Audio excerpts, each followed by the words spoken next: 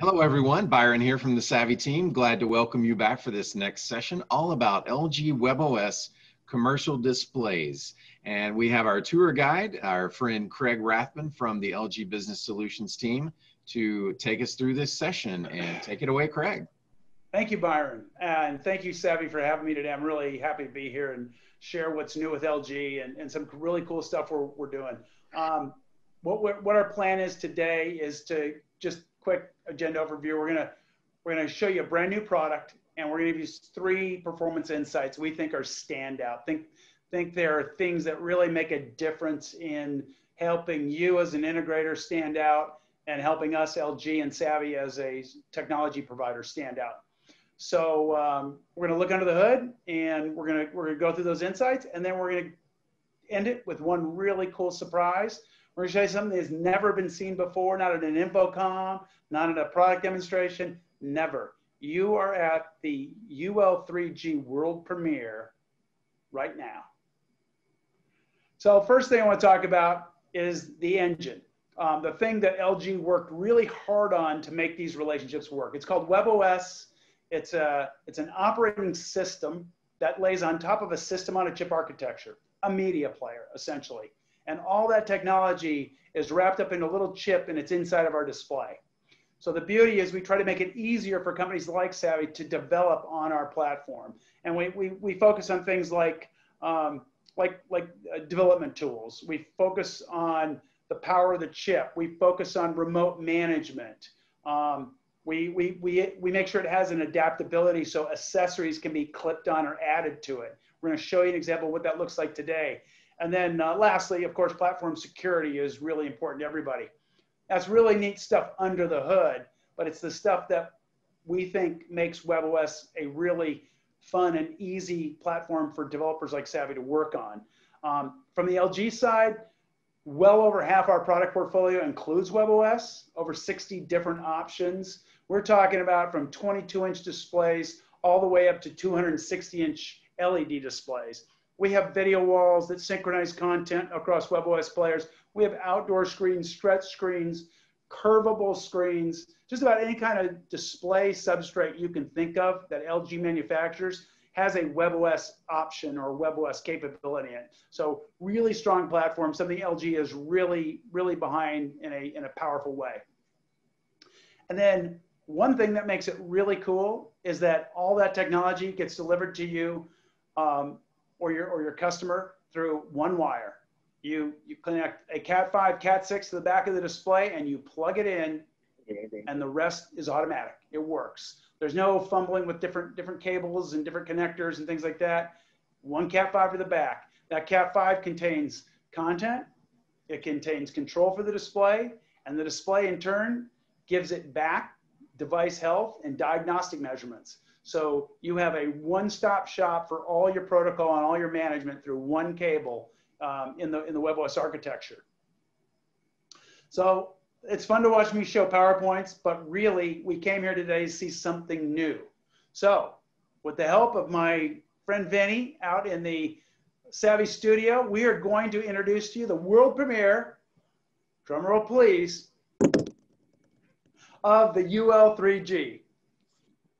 There it is, Craig. Oh my gosh, the roar is deafening, Benny. Can you hear that? All the way across cyberspace. All right. Yeah, folks, we know that that's probably a display only a display guy can love because it, to the rest of you, it probably looks like a piece of glass with a black bezel around it. And that's what it is. Um, and you're right, display guys do get excited about things like that. But I'll tell you what's really probably more riveting and compelling isn't the display itself, it's what's going on inside of the display. And, um, and that's really what we're here to share with you today is what SAVI and WebOS have done inside the display to make it really, truly unique and stand out. Um, performance insight number one, we call it um, the tri-pane. It's the ability to, to cut up and manipulate the screen. You're not looking at three screens right now. You're looking at one screen in portrait with three slices in it um, and three different content streams going to those slices. So you have a really great device. This display is set up for you know maximum uh, content value, right? You've got broadcast, IP broadcast, you've got digital signs in the middle. You actually have a game in the bottom and it's keeping score of your game. And all three of these information information bits are being delivered right to the guest in a very intimate setting where he's close to it and he's getting all this content delivered to him all through that one wire, mind you, um, for to you know to enhance his and delight his user experience. Um, I'm going to show you it in an active environment, and you can see all three, all, all the displays in the background are tri-panes. And if you notice, they all have their own separate content management. They aren't, they aren't mirrored images of each other. They all have custom tailored content to each guest in each one of those bays. So everybody's getting a tailored message served up to them in their experience to try to make their experience better. That is, we're, we're so proud of the tri-pane. We love the tri-pane. We love what it does. And, and it's, it's been a really cool entertainment value tool for us. But think about it. What happens with the tri-pane when there's no one in the bay?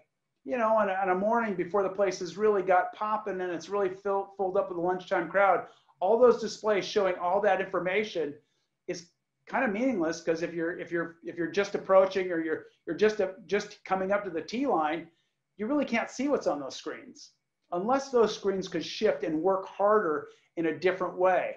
Well, we're going to show you that different way. It's called the attract mode.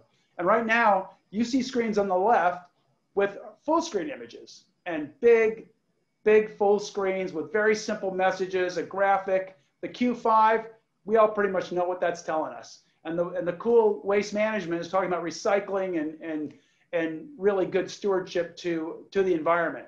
But really big messages that can be broadcast on all those screens when people aren't in front of them. But then when there are people in front of them, we need motion sensing or card sensing. We need some kind of trigger to move these screens between the tri-pane and the full screen pane.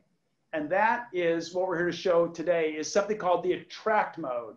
The attract mode lets screens work double duty as a billboard and also as an intimate information display, communication display when people are right in front of it. Vinny, my trusted, my trusted resource out, out in the studio is going to show us what attract mode does and how it works. All right. Thanks, Craig. I'm going to take you guys over to this screen over here. And as you saw some of those layouts that Craig was talking about on that UL3G back there. So as I get closer to this one, this is an attract mode. And there you go. You can see it actually change from a larger, um, a larger um, piece of content to something like this that has a lot more information on it that's going to allow me to read through it. I can see your specials and things like that. And it's just really letting you utilize all of the power of this WebOS engine here. Um, and this is just something that's really cool and it kind of changes the way your whole venue can function. Hey, Vinny, one thing I want to point out to people too is attract mode can be triggered a lot of different ways. I mean, you saw mm. the Topgolf picture. That could be using a card reader that because people check into the bays. That could be one method. Right here, we're actually using a camera sensor to detect when you walk up, right? So, so yeah, this right attract mode, a motion sensor is another option for that. But the point being that WebOS chassis with the system on a chip built in allows for these accessories to be attached to the display and give us these additional functional features. And then SAVI's really cool software algorithms, they're business rules, right? And when someone gets within a certain proximity, in this case, in the camera lens, we, we go into the attract mode. The minute Vinny walks out, it goes back to a full screen billboard and it waits for the next the next guest or the next target to get within range, and then it delivers that close-up message. So really cool insight, really cool feature on the UL3G. Thanks, Vinny. So let me show you the next insight. This is a double whammy because this is one of my favorite things that, that happens on, the, on this WebOS platform. And it's control and it's monitoring. And what I mean by control is we can actually see the displays on the network and we can walk up with a handheld device and we can cha make changes to those displays right in the venue, right on the fly. Or we could be doing that exact same thing from a remote location 500 miles, 1,000 miles away. Either way. Certainly, when you're in front of the display, having a visual lock on it, you think of a sports bar, you think of any, any one of the sports bars that has 50 screens, they can walk up and make a change to the IP stream instantaneously. How easy does that make their life when, if you've ever been in a sports bar and want to get your game on and watch them fish around for remotes and take a half hour to figure that out, it's it's kind of mind blowing. The second thing though that's really cool is not only can we tell those displays what to do, but we can also diagnose their health. We can actually see what's going on with the displays. We can scrape the screen to see what the picture is, even if we're a thousand miles away, and we can make changes. We can do a factory reset. We can reboot the display. So there's a ton of things that you can do from a network operations standpoint because of the health monitoring. So two, again, really powerful features of the UL3G and the WebOS platform that SAVI brings us. Vinny, enough talk. Show them what I'm show them what I'm trying to describe. Awesome. All right, Craig. Um, this is um, this is our signage wall here, and actually you're seeing the tri-pane that Craig had referenced a little bit earlier, which is a really cool thing that we can do, just breaking up the screen with uh, content distribution. And we can actually come in here and just change this very quickly to something. And that's all through that SAVI and WebOS engine. Um, but as Craig was saying, we have a really awesome way to, to diagnose um, and look at the health of these displays. And we can even do it remotely. So you'll see here, I'm gonna go into my Canvas dashboard. And this is just letting me pull in all my diagnostics. I have my IP address. I can see that they're online. And I'll go to my Picket Display 1. And it actually takes a full screen grab or a, a live screen grab of that display so I can actually see what's going on live. So I don't have to call somebody. I can just look and see what's happening. I also have my app versions, firmware versions, MAC address serial number. So if I needed to swap that display out or need to do an RMA, I can pull all of my information. We also have power on, power off, reboots, all that great stuff that you're needing to remotely troubleshoot or uh, work on these displays. So it's just a really powerful tool for anybody uh, as an AV integrator or just someone who's trying to look in on their system. Vinny, you're pretty good keeping an eye on those 20 or 30 displays just on there, but I know for a fact that when there's 500 or 1,000 displays, that you guys actually have a room in the back, which is a network operations center with that exact same interface up on a up on big dis, large displays with tech sitting at the desk, and they're watching and monitoring the health and, and statistics on literally not a thousand but thousands of displays exactly. all simultaneously. Yeah, and we've also added in a feature there to where you can actually get alerts uh, to let you know when a a display goes down. So those guys can know, um, they can know before the customer actually knows. So we can call them, get it fixed, and, and just keep them running smoothly as possible. Man, that's got to make you popular. I know, I know I like hearing about it. All right. So we talked about some really cool things you can get right now today from LG and SAVI just by teaming up with our with our with our products and, and putting them in the field. But there's something you can't get today. Matter of fact, there's something you may not even know about or have ever ever thought about, and that is the surprise launch for today. So the UL3G, the last performance insight, which is really a future capability. It's not available in the market this minute, but you're going to see how close we are in just a second. Um, now, this was done long before there was COVID 19 and long before there were cliches about new normals and things like that um, we had to start working on this. It's it's just coincidentally it, it is very timely in, in this current environment you know our, our country is in right now. And um, it certainly addresses a lot of technological um, and user challenges i think that people are being faced with. And we you know we didn't plan it that way but it certainly is timely. Um, what i'm talking about though isn't something we could just come up with. It takes really strong partnerships and that the partnership between LG and SAVI set out with some customer insights in mind.